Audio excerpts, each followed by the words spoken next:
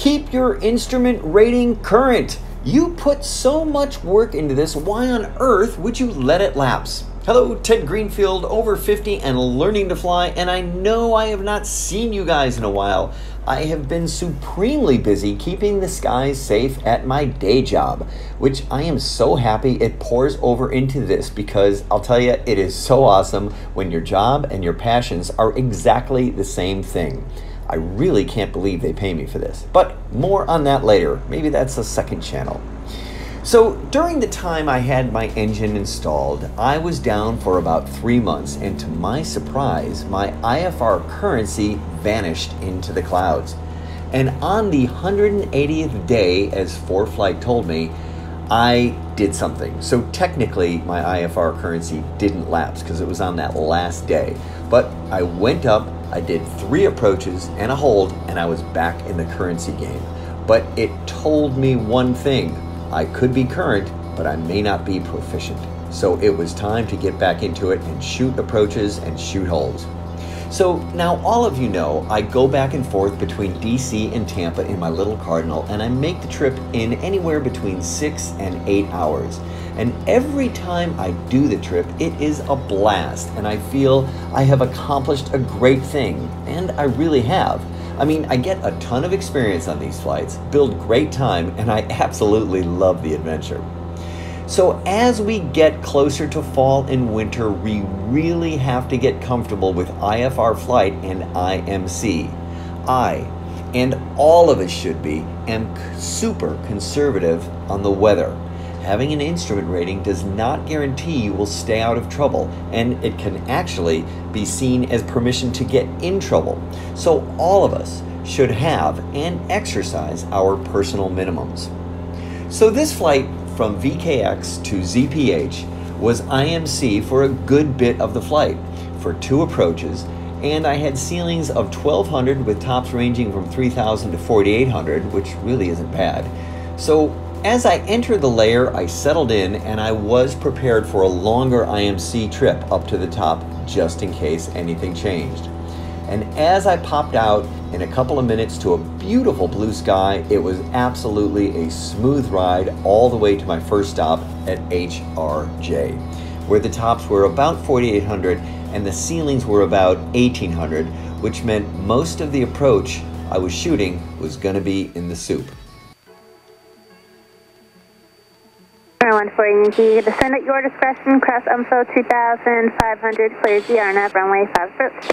Clear for the RNAV, 5 approach Harnett, uh, descending down to 2500, 1.8. Now, one thing both of my instrument instructors drilled into my head was to call out my altitudes and keep the conversation going externally outside of my head, which really goes a long way to helping me feel relaxed while I'm in IMC talking out loud confirms what I'm doing, it keeps me outside my head, and it keeps me ahead of the airplane. 3500 for 2500.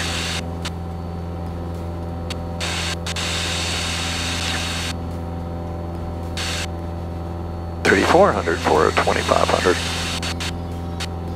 Fayetteville approach, uh, 6462 Charlie at your convenience. We'd like to do the RNAV 5 now. 6462 Charlie, Raj, would you like to direct the uh, HEPNO or Thirty-three hundred for twenty-five hundred. That would be great for 6462 Charlie. 6462 Charlie, Roger, split with HEPNO, descend maintain 2500. Descend maintain 2500, direct HEPNO, 6462 Charlie. Thirty-two hundred for twenty-five hundred. Cardinal 14 Yankee, maintain uh, 3000 for departure off of Harnett. Maintain three thousand for one forty. It is really imperative when you are in the clouds to use all your senses. I hone in on the engine sound and can notice the slightest change in the RPM. The new engine monitor helps too. But on this one, my throttle started slipping a bit and I caught it right away. All right, three thousand. Everything's looking good. Looking good. Nav lights are on. between 3,000, we're right at 3,000. And 11 miles to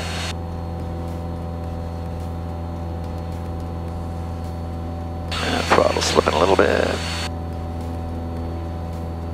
Now, one thing that is pretty cool, and it kind of maxes out the geek scale here, but if you are a musician and you have perfect pitch, know what tones your engine hits. This may, again, really max out the geek scale, but if you are not a musician, never mind. But if you are, you'll understand this. At 2600 RPM, my engine is a solid D. And at 2400 RPM, Here we go, my engine is just north of a C. And it goes down about a step for every 2000 RPM. This new engine hums right along and it is solid, but I can actually tell what it is doing by the tone it's creating. 125 And that's minutes. just me. If you're not a musician, forget I said anything about it. It's just going to be confusing.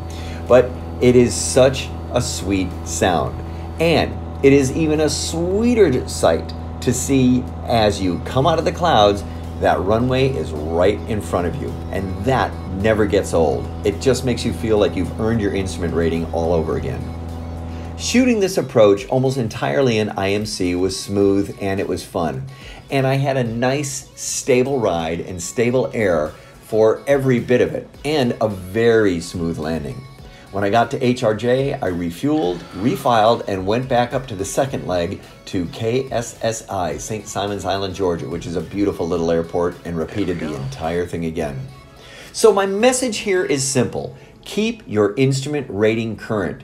You don't want to be caught by surprise IMC if you have to use it and you're not proficient. Proficiency is not the same thing as currency. So if you have an instrument rating or if you've just earned your instrument rating, get out there and use it. Stick your head into the clouds. Shoot approaches every time you go flying. Grab a safety pilot. And there are plenty of new pilots out there who are screaming for hours and you will both be better pilots because of it. So, I hope you learned something. I hope you enjoyed it. And if you are over 50, you know what to do. Thanks for watching.